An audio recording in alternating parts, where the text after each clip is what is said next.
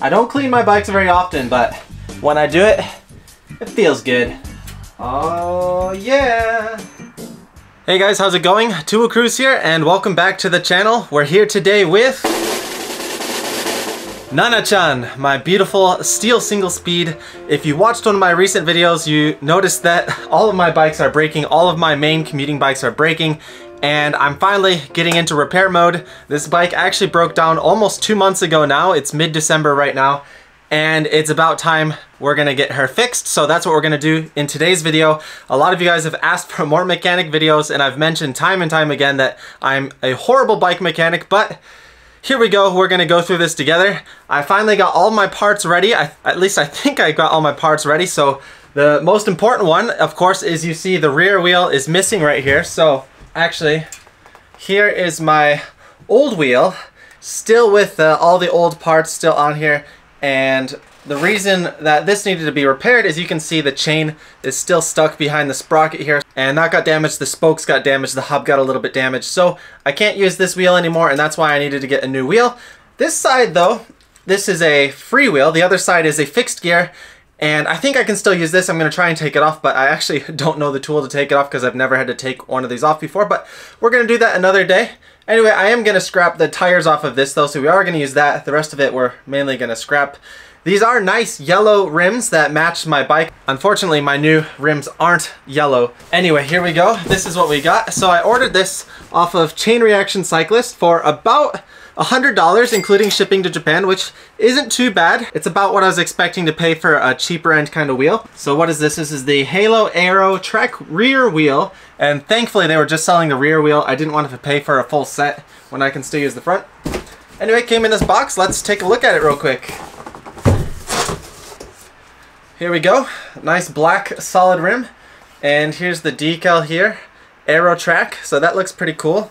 Uh, black hub, black spokes, black rim. Looks pretty nice. Stealthy. And yep, we got our we got the right kind of wheel. That's a good sign. And this one didn't come with any gears or anything, so that was an extra part I had to get. Fortunately, I had an extra gear lying around from when I bought my state bicycle single speed a couple years ago. They actually stocked my bike with the wrong size cog, so I got an extra of one I didn't need. This is a 16 tooth. On my old setup, I actually had an 18, which seems to be pretty rare. I tried looking for it and I couldn't really find any that were available right away, so I am gonna gear up to a 16 from an 18, which is a little bit heavier of a gear. I think originally this was set up with a 48 18, which is a pretty nice low gear, so I was spinning a lot, and I really like that gear. But so this is to feel a little bit heavier, I think. Uh, there's a whole, I made a whole gear chart actually for calculating gears, but I still don't know how to calculate gears on my own without it. So uh, you can go check it out. It's one of the sites that I manage. So we're going with the 16 tooth gear. And fortunately, I also had a couple extra lock rings lying around as well. I'm kind of like a retired track rider. I have all the track equipment, but I never use it because you can't really get on the tracks that often here in Japan and just busy with work. And I've got my other track bike uh, right over there, the state bikes one, which unfortunately isn't getting much use. So we got that. Another important piece of the puzzle is a new chain. So we got a nice gold KMC single speed chain. This one I'm pretty excited about. Gold to match the yellow. And yeah, this isn't related to this video, but my other bike that needs repairing over here, Suika-chan, I've got a couple parts coming in for her, so we'll be having another video in the near future for her new wheels. So her new wheels are on the way. I got some new disc rotors and disc pads. And another thing to be really excited about is I've got some awesome new Tannus airless tires. So we're gonna make a whole review video for this once everything is ready to go with that build. So look forward to that upcoming mechanic video. Maybe we'll make this a series, Mechanic Monday or something like that. And we've also got our necessary 15 millimeter wrench to get the wheel on as well as a chain breaker. I think that's gonna be all the tools that we need. So let's get started. First things first, let's get the new wheel ready. Let's get the new gear on and let's get the new tire on, or not new tire on, let's get the old tire switched over. And yeah, let's get started. Got my Swiss knife here. Let's get this cog out of here. Should use some scissors for this instead, but it works. There we go. Nice dusty gear. This thing's just been sitting around for a while. And I haven't done this in a long time, but this shouldn't be too difficult. Just the longer side on the inside and just screw it on. And this goes the direction that you pedal, so clockwise, just screws on like that. There we go. Good to go. Step one down. And we should tighten this down a little bit with the chain whip. So I gotta thank past Cruise for buying all these tools that I never use, but it's good to have them around when Even if you don't use them, it's nice to have them around for when you actually do need them. Here we go. This one's got my name on it. So for those of you who've never used a chain whip before, it's pretty easy, especially on a single speed. Just wrap it around like that and put some pressure on it and that'll tighten it down. That's about all you need. This thing will naturally get tightened as you use it. Next we're going to put a lock ring on. Some people are pretty crazy daredevils and don't put a lock ring on. I recommend you definitely put a lock ring on, especially if you're not riding with brakes. You don't want to not be able to stop when you're riding on the road. And this is a pretty nice, simple, but ingenious system. So the cog here goes the one direction, clockwise. The lock ring here goes the opposite direction. So you thread it the opposite way, counterclockwise. So that way, if the gear is going the opposite direction, so you're backpedaling, you're braking, that's not going to come loose. And this is one tool I actually don't have. I don't have a lock ring tool, sadly, but I think this will be alright for just getting it on for now. I'll stop by a bike shop and ask and see if they'll let me borrow one of their parts just to tighten this, but it should be okay with just hand strengthening for this part, for right now anyway. Alright, hurdle one cleared, we've got our gear on. Next part, let's get the tire swapped over from the old bike. So if you watched my recent video where me and my wife tried fixing a flat tire, eh, it wasn't the prettiest of videos, but hopefully this time will go a little bit smoother. So first things first, we gotta get the air out of this tire. And the tires I'm using on here are Schwalbe Marathons. These tires are bomb-proof. I have two favorite road tires for road commuting, and one is the Schwalbe Marathons, which I have on here. The other is the Continental Gatorskins. The Gatorskins are great for longer rides and more kind of like race-style riding, so fast pace. It has better rolling resistance. And these ones have a little bit more grip and I feel are a little bit more solid and they can run lower pressure. They also have a nice reflective band on the side so they're great for commuting. I've used these tires for over four years, like I've changed them out every year and a half or so, and I've never gotten a single flat on them. I've ridden them down to the ground. I made a whole separate video about my recommended tires, you can check it out. But anyway, thumbs up if you're a Schwalbe Marathon user. I know a lot of people mentioned also that the Marathon Plus is also really nice tire. I've never had to use that one. I'm, I've been really good with just the regular marathons. I've never had a single problem. So these are still in good condition. It looks like we're gonna pop these over because tires aren't the most expensive or cheapest item, but it's good to get as much use out of them as you can. So let's pop these off. My hands are already getting dirty. There we go. Getting them off is always the easier part. It's getting them on, that's the trick. Goodbye, beautiful yellow rims. And hello, Black Beauty.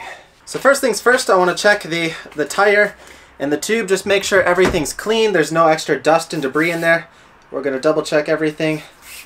Make sure everything's good to go. In case you're interested, here's a closer view of the tread pattern that's on these Marathon tires. So a little bit different than a standard smooth tire, we've got some tread pattern here. Let's put this on. You should double check the rotation. Uh, that's one thing I haven't had too big of a problem with with the rotating hubs. I've, I've ridden these both directions and it's worked fine for me. So, oh this is funny. I just noticed on the sidewall of this tire you can see some of the yellow paint from the wheel seems to have rubbed off on here, but that should be okay. That shouldn't cause any problems. That's just from hooking onto the inside of the rim that'll just come right off, so that's not a problem. Another trick I like to do, and I know a lot of people do this, is they line up the logo of the tire with the logo of the rim. So that way, in case you ever get a flat or anything, you can easily trace back to where it was because you know exactly where your tire was positioned on your rim. So let's get the one side on. Easy peasy. Find the hole. And let's get the tube back in here. So changing flats is something that I feel you get a lot better with with practice. And if there's one downside to having really puncture-proof tires, is you never have to deal with flat tires, so you don't really change tires that often, and you get a little bit weaker or a little bit rusty. I was definitely much better at changing tires and flats back when I had to do it pretty regularly. I know, I know. Excuses, excuses. This one seems to be going on nice and easy though. My thumbs appreciate it. Oh, there we go. Wow, these went on like super easy. So there's another good point to these tires, the Marathons over the Gatorskins, is the Marathons go on really easy, I find, compared to the Gatorskins, which I really have to struggle to get on. So if you're looking for a low maintenance, easy to work with commuting tire, I'd have to ease out the Marathons a little bit over the Gatorskins. Oh, can't forget this little guy. Let's lock down the valve in here. Get some air in here. And yes, my pump is also yellow. And that's that. We've got our new wheel here, ready to go. Gears on, locked on, tires on, And last thing to do is put the wheel on and the chain. We can't forget about the chain. So before we put the chain on, it's actually, some parts of this bike are still a little bit dirty from riding in the elements and all the rain. I, I put this bike through a lot. This is my rain bike. So there's some dirtiness we got to get rid of on the front chainring and the back area of this bike. So we'll clean that out right now before we get the new wheel on. To help me out, I've got some nice degreaser I bought also from Chain Reaction Cycles a couple years ago. So this stuff has lasted me a long time. Actually, when I bought this, it didn't come with the top cap. And so I complained and they sent me another one. And I requested the top cap and so they sent me another one. So I got another one here that I've never used. And it also didn't come with the top cap. But the weird thing is with these is they're slightly different color. Can you see here? So one looks a little bit more orange, one looks a little bit more green. They're supposedly the same thing. What is this? Crankalicious Lemon Velo. They're different colors, so I'm guessing one's older than the others, but it works, but I don't have the spray nozzle, so I don't really have a good way to get this out. I just dab it in a towel though, so we're gonna use this to degrease, get some of the gunk off the, the front chainring. And one of the biggest parts I'm gonna struggle with today, I think, is putting on a new chain. I haven't cut my own chain and put my own chain on a bike in years, so this is something I'm gonna have to YouTube, I think, really quick before we do it, but I think we can do it. Yeah, pro mechanic tips with Cruise. So let's take a quick look before we start. You can see here's some of the nastiness on this chainring right now. So what do you guys think? Is this a little bit too sharp? Does the front chainring need some replacing as well? We're not going to do that today though, but maybe we'll save that for another day.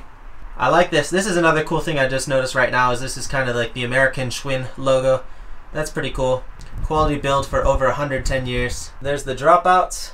And you can see this other side here is a little bit more nasty. We've got more of the sand. So I commute every day along a river path and the river path often floods. I actually rode this through the flood uh, a couple of days before this broke. So yeah, there's still some residue from the river there. And let's get this all cleaned up as best we can before we get started. Another thing I should point out is I've got my sort of cleaning maintenance tarp down here on the ground. So everything that drips from up here down to the ground, it's going to protect the apartment so I can get some of my security deposit back, hopefully when I eventually leave this place. So let's get started. We've got a nice brand new clean white towel here. Let's see how dirty this gets just from cleaning this section. I'm not sure. Are you supposed to shake this? I'm gonna shake it anyway. So let's dab this in here. I think that should be good enough to start. And let's go to town. Oh yeah. I don't clean my bikes very often, but when I do it, it feels good. Degreaser. Get all this gunk off. Make it shine. There we go. See that? Beautiful white rag. Let's also get the other side. Oh, this works. This is easy way. I can hear a bunch of pieces drop into the floor. that's a good sign. All the big dirty clumps are dropping. Alright, that's probably good enough. What do you think? Not too bad. And now we move on to the biggest challenge for today, the chain. So I actually think I'm okay with cutting this and putting this back together. The biggest part I'm concerned about is getting the right length. I've never really had to measure that myself. I'd always base it off of my old chains. I can't really do that in this situation. Also, my gear situation is changing it, so we're just gonna have to wing it. Check this beautiful bad boy out though. Beautiful gold chain. And we've got our connector here. First things first though, let's try putting the wheel on the bike. This is gonna feel good.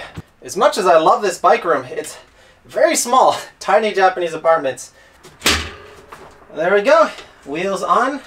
So I'm using a 16 on here. There's a chance I might go up to a bigger gear, so a lighter gear up to an 18.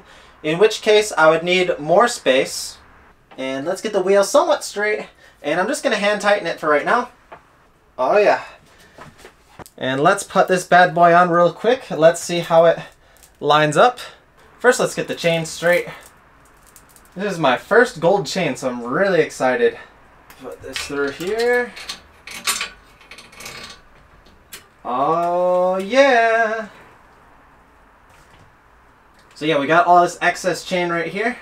So this is the tricky part, deciding where we cut this. This seems to be about the magic point. We did it! Alright guys, unfortunately I didn't film the process of me cutting the chain, but I guarantee you I did it all by myself with a little bit of help from YouTube, the guys at Park Tool. Their video was a great help, so I'll link that down below as well in case you're interested. It was really helpful, really useful. But anyway, the chain's connected, it's on. As you can see, I haven't done anything with the tension yet, so that's the next step, and hopefully crossing my fingers, that's gonna be the last step and then Nana-chan will be ready to get back out on the roads just in time for a rainy morning tomorrow, so. But anyway, let's finish the last step and get this bad boy tensioned. I actually don't use any chain tensioner tools. Those are really useful and probably a good idea to get one of those, but I generally can do it by feel. The reason I'm in this mess in the first place is not because I couldn't tension the bike, but because I wasn't checking it. I just left it for over a month. I left it probably, actually, probably multiple months, to be honest. And entirely my fault. So not a problem as long as you're maintaining it. But the good thing about those tensioners is they generally keep it in place so you don't have to worry about it loosening. So that is an advantage of getting chain tensioners. Might have to invest in getting some of those on this bike, but anyway, we've just got our 15 millimeter wrench and we're just gonna use this to do the job. This brings me back to my good old track days. So pull the wheel back as far as we can get it. And this looks pretty good. Then we're gonna tighten it down. A little bit on one side, little bit on the other side. Make sure the wheel is true. And we'll just go a little bit by little bit. Oh, there we go. This is looking solid. We got some decent chain tension. And let's tighten this bad boy down. Here's the test. Oh! Tun-chan! Nana-chan 直したよ本当だよ見て見て わおすごいすごいでしょすごいクルーズすごいクルーズ天才クルーズすごい何でもできる何を切ってるあ寒いから寒いから寒いから So I introduced her to bathrobe culture. so this was my bathrobe. I introduced her to it one day and since then she hasn't given it back. So she's got normal clothes on underneath, but she just wears the bathrobe to stay warm. It's winter here in Japan. 悪い口暖かいね。いや、褒めてるよ。悪い口褒めてるよ。全然褒めてるよ全。然かっこいいでしょゴールドのチェーン。うんナナちゃんと似合うでしょうんふんいや、かっこいいな。So here I was just feeling all accomplished and everything, and I just realized I made not really a fatal mistake, but a pretty big mistake. If you see the position of this dropout when everything is tensioned here, it's on the very end on the inside, so I don't think I have enough wiggle room with this chain to put on a larger gear, but assuming that this gear is okay, there's no problems with it, that should be no problem.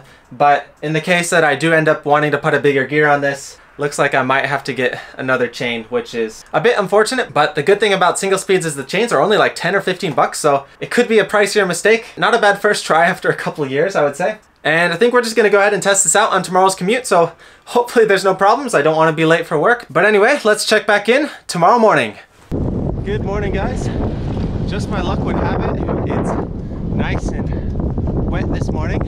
So we're gonna have a good first test back with the rain bike. Nana-chan back in action. So when you ride, it's not the rain that sucks, it's the puddles that suck. But luckily we got a little fender set on the back, so we should be good. Anyway, that's gonna be it for today's video. Hope you guys enjoyed. If you wanna see more bike mechanic videos with my horrible skills, be sure to give this video a like, comment down below, and we'll see you guys in the next one. Let's enjoy the rest of the ride. See you guys.